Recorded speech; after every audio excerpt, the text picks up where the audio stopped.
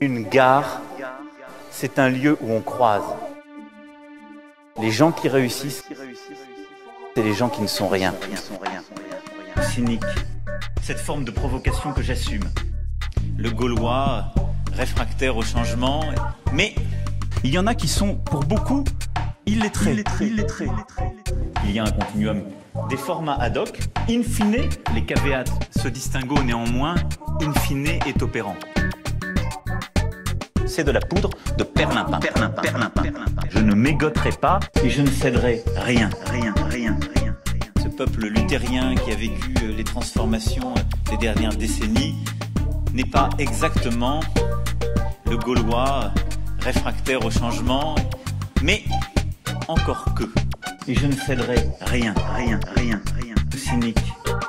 On met un pognon de dingue dans des, dans des minima sociaux, les gens ils sont quand même pauvres. La meilleure façon de se payer un costard, c'est de travailler. Cynique. Ce jeune garçon qui était horticulteur et cherchait un emploi. J'ai passé 10 minutes, un quart d'heure. L'un d'entre vous était avec moi. Si j'étais méprisant, je, n'aurais même pas parlé. Pas parlé, pas parlé, pas parlé, pas parlé.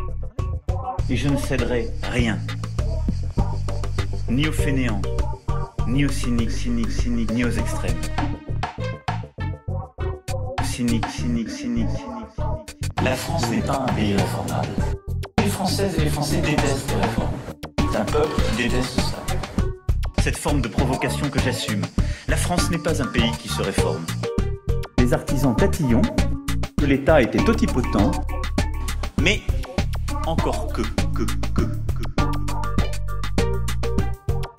Pas le sentiment que ce soit un scoop que la France ait été composée de tribus gauloises. Et c'est pour moi une très grande fierté. Cynique, cynique, cynique, cynique. L'honnêteté m'oblige à vous dire que je ne suis pas socialiste.